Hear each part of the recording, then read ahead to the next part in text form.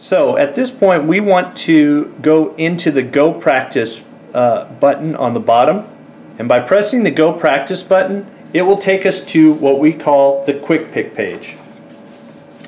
There's four pages at the top, Quick Pick, Ball, Routine, and Play. And you'll notice that it has a highlight underneath the Quick Pick.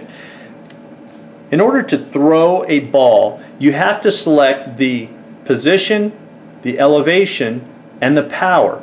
And to do that, for instance, if we wanted to throw a slow ground ball to third base, we would choose third base, ground ball, and slow. And the head of the machine will move to that position.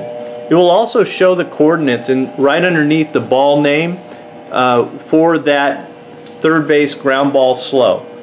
And if we want to throw a ball at that position, we press the throw button and after the launch sequence goes off, it will throw.